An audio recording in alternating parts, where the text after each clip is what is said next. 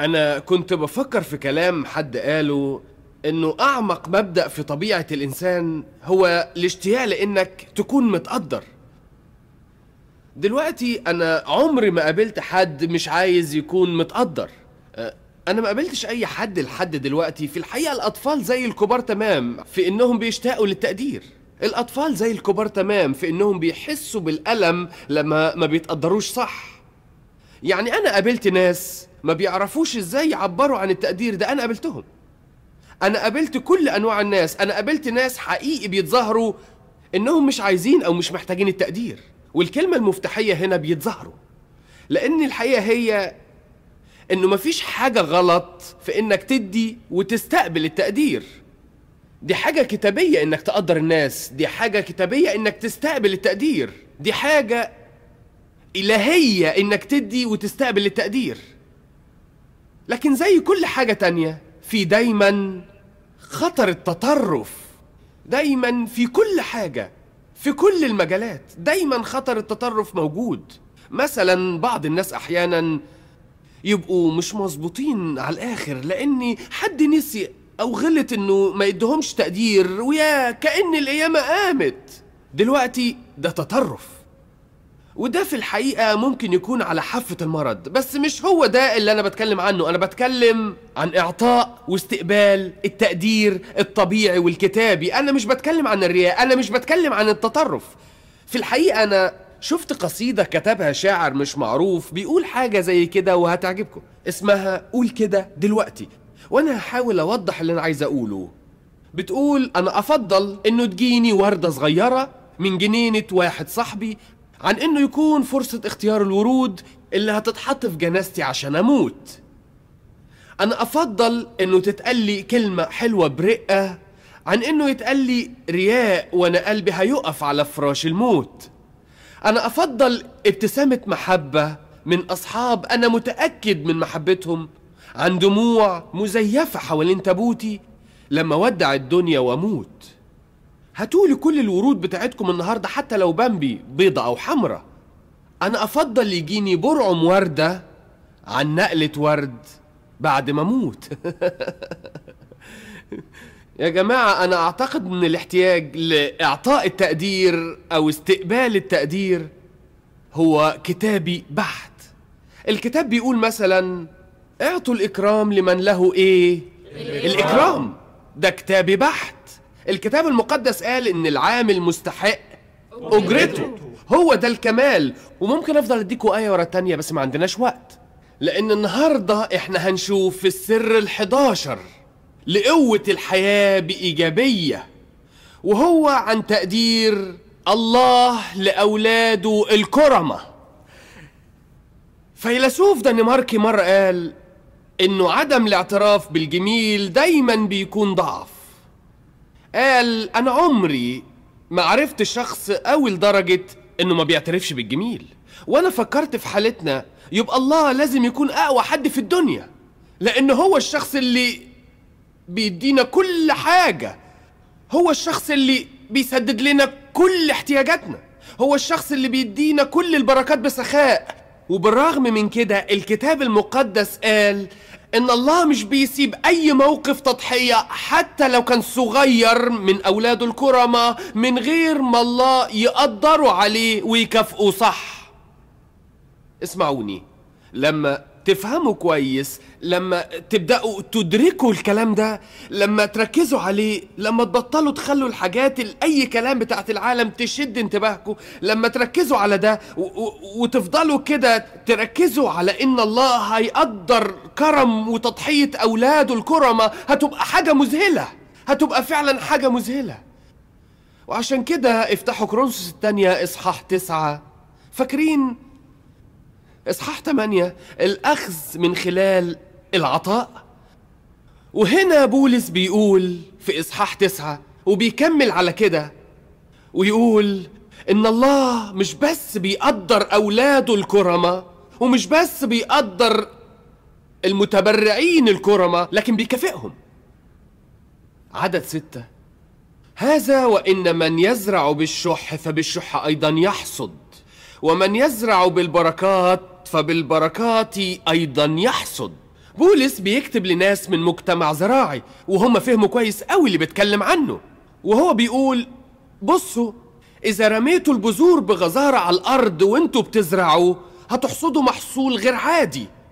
لكن لو بخلتوا وقطرتوا حبة حبة وبخلتوا أكتر هيكون المحصول ضعيف جدا.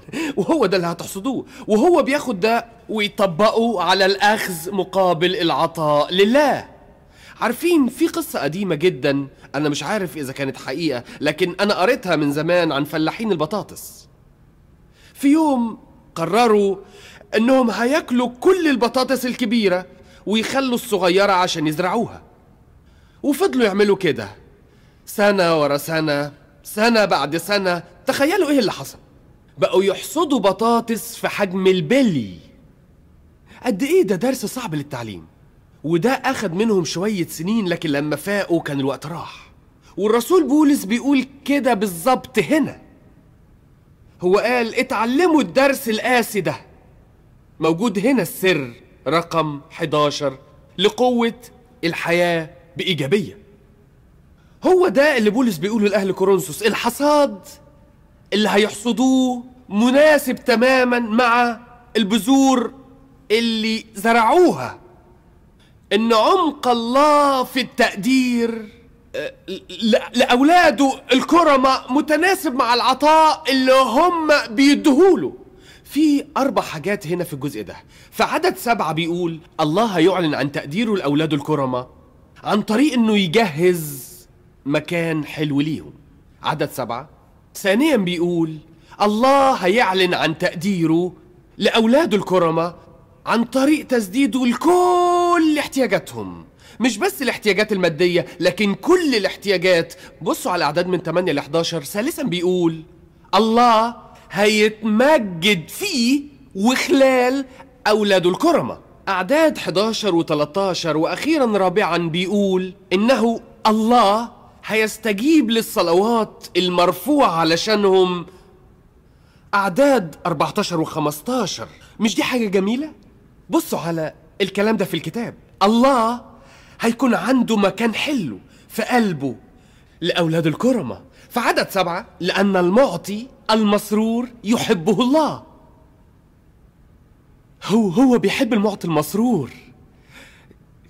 يا جماعة اسمعوني أنا عاوز أقول لكم بصراحة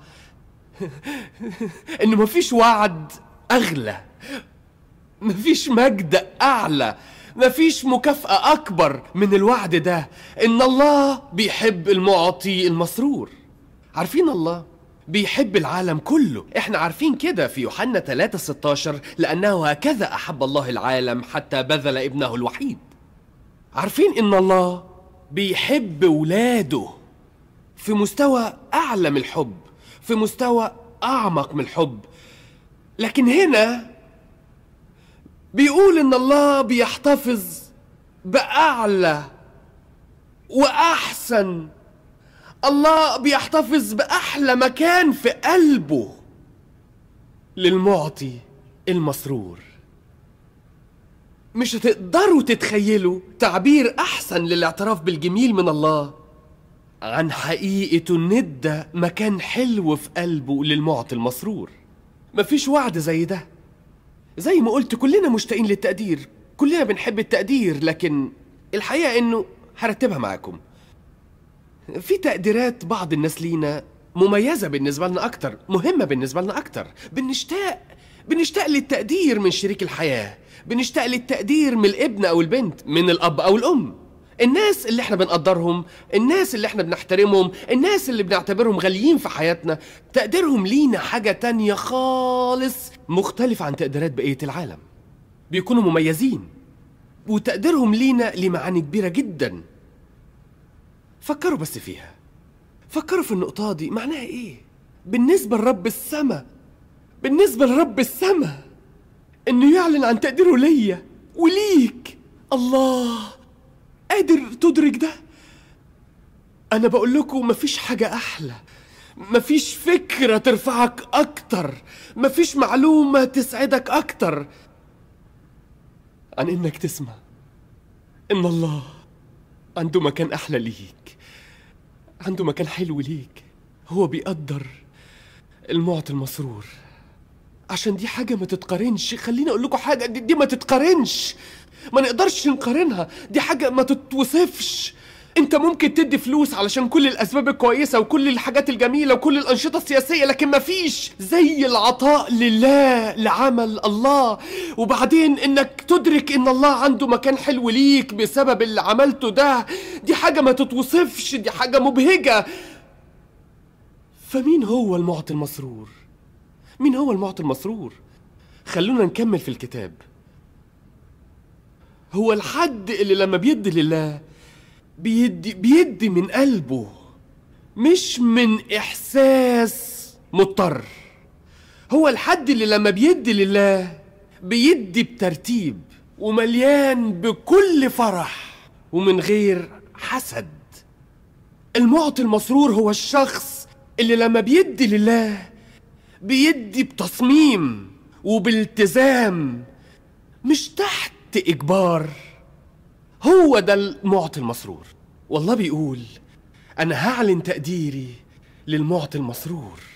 الله بيحب المعطي المسرور. ثانيا الله بيظهر تقديره لأولاده الكرمة.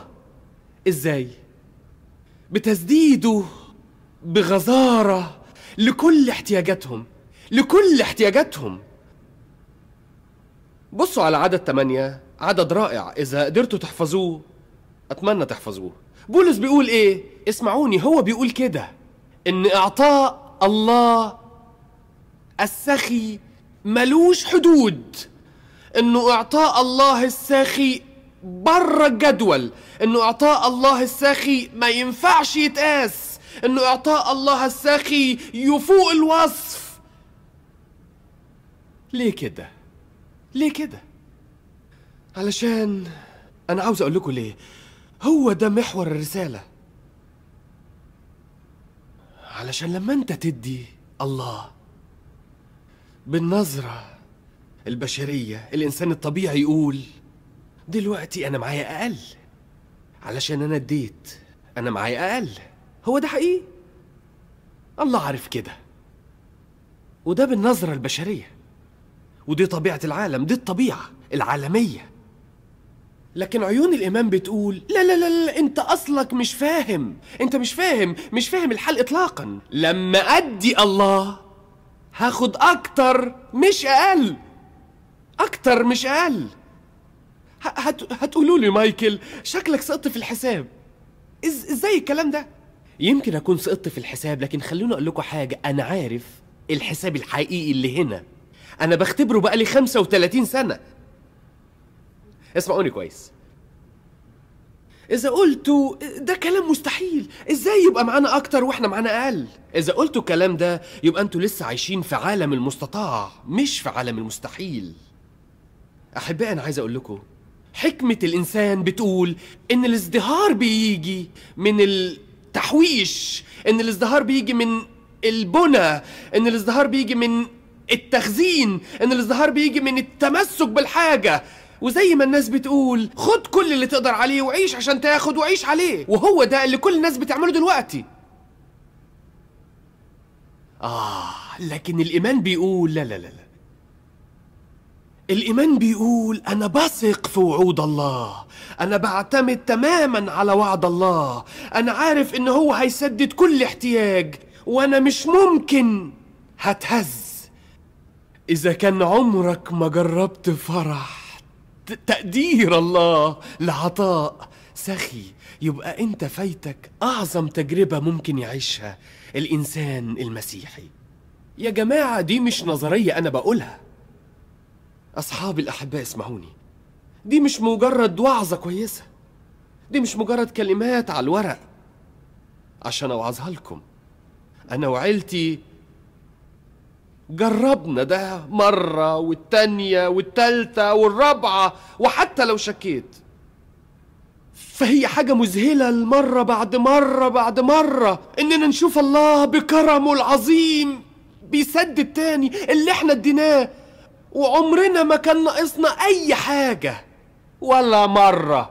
في الأيام الصعبة والأيام الحلوة في الوديان وفي الجبال عمرنا ما كان ناقصنا أي حاجة.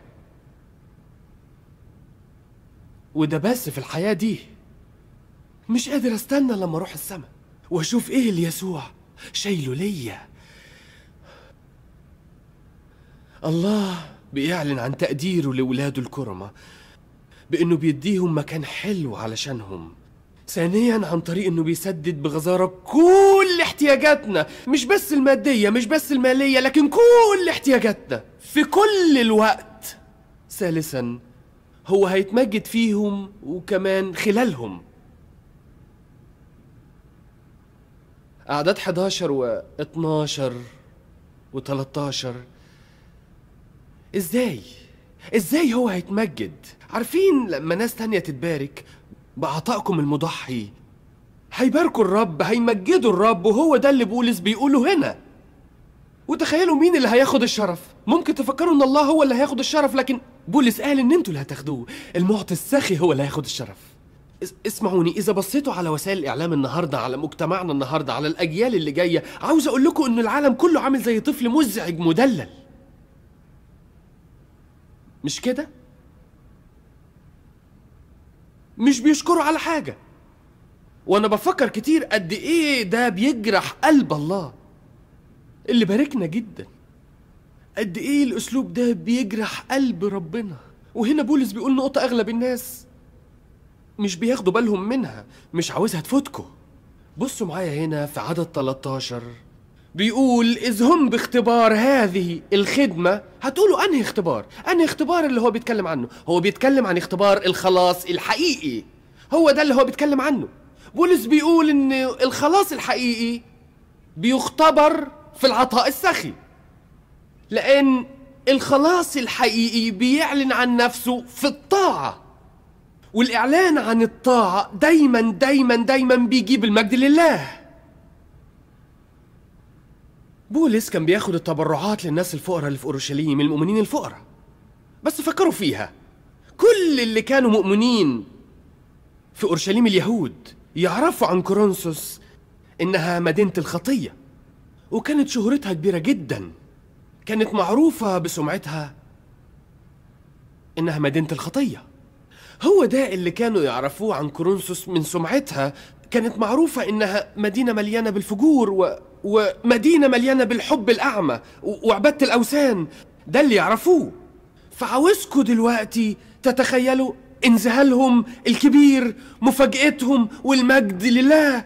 لما يسمعوا إن كنيسة كورنثوس مش بس مؤمنين لكن كمان مؤمنين بيدوا بسخاء علشان يقفوا جنبهم في أوقاتهم الصعبة في وقت الاضطهاد وإنهم يرفعوهم وإنهم ليهم إخوة وإخوات في المسيح في مدينة الخطية دي. وبولس اتكلم عن شكرهم. تخيلوا شكرهم والمجد اللي بيدوه لله علشان كرم أهل كورنثوس. الله بيعلن عن تقدير لولاده الكرمة بأنه بيعمل مكان حلو ليهم. ثانيا بأنه بيسدد بغزارة كل احتياجاتهم وثالثا بأنه هيتمجد فيهم ومن خلالهم رابعا بأنه يستجيب لصلواتهم. المرفوعة عشان مؤمنين أورشليم. بصوا على أعداد 14 و15 بالتحديد. هو قال وبدعائهم لأجلكم مشتاقين إليكم من أجل نعمة الله الفائقة لديكم. الأسبوع اللي فات جاني الأسيس باقي صدق صديقي وقال لي أنت عارف يا صاحبي إن في ناس في الجزء التاني من العالم بيصلوا عشان كنيسة الرسل وعشان أعضاء كنيسة الرسل يوم بيوم. عارفين قال لي كمان إن في قناة فضائية موجودة في أكتر من 51 بلد. ده حتى الناس اللي عايشين في عيشش عندهم دش. في الجزء ده من العالم دي حاجة مذهلة. وقال القناة الفضائية دي بتبث خدمات ووعظات من كنيسة الرسل كل يوم. الساعة سبعة ونص الصبح كل يوم. وقال لما بتنقل في الجزء ده من العالم بسمع الناس بيقولوا إحنا بنشكر كنيسة الرسل بنشكر الرب عشان كنيسة الرسل قال عشان الساعة سبعة ونص الصبح قبل ما ننزل الشغل بنشحن نفسنا بإننا نشوف وعظات كنيسة الرسل في أتلانتيا جورجيا. مش دي حاجة عظيمة؟